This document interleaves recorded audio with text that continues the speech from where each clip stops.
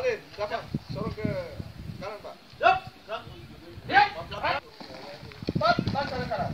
Jalan. Dua langkah. Jalan. Jalan. Jalan, Pak. Jalan. Jalan. Siap. Hadap kanan.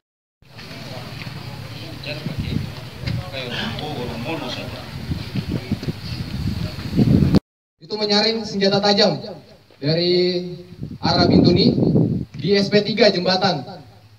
Di SP3 jembatan. Kemudian yang kedua di SP3 juga di situ ada Madrasah Alia. Di situ penyaringan untuk masyarakat yang akan berbicara di kantor distrik dan masyarakat yang cuma meramaikan kita arahkan masuk ke Madrasah Alia. Di situ sudah disediakan tempat. Kemudian untuk regu 3, penyaringan dari masa dari Mbak Mata, dari Fakfak, penyaringannya di SP6. Sebelum Tugu, sebelum Tugu sudah disaring senjata tajamnya, kemudian diarahkan ke SP6 di kantor Baperkam Bumi Moro Indah. Itu untuk masyarakat yang meramaikan. Yang untuk berbicara silakan dipersilakan langsung ke kantor distrik. Mungkin seperti itu eh, dan dari Polri.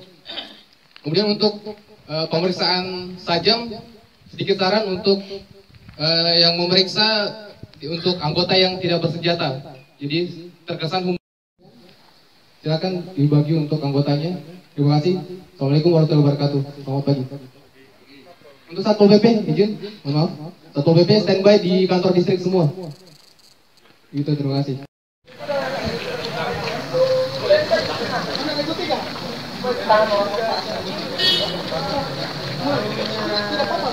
Siapa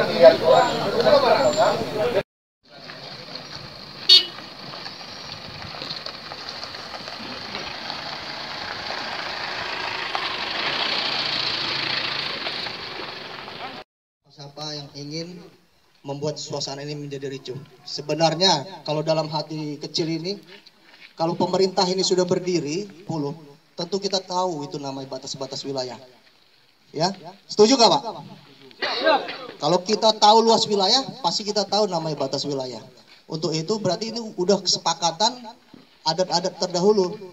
Tidak baru ini berdiri, ya kan? Mungkin Pak Paulus udah berapa lama jadi polisi? Siap 24 tahun. Selamanya di Fakfak? Nah, berarti selama 24 tahun batas itu sudah ada. Sepakat Bapak ya? Nah, jadi kami mohon nanti tidak ada anggota saya atau mohon maaf dari anggota Kodim atau anggota Pol PP atau bapak-bapak yang lain ikut mengamankan, ikut memanas-manasi.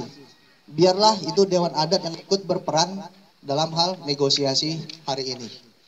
Ya, dalam hal ini kita baru Idul Adha ya kemarin ya. Pertama saya ucapkan mohon